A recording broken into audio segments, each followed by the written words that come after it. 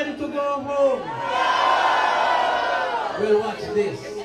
Everyone gonna jail right now but it's the time jailhouse rapping. Run them down, jailhouse rapping.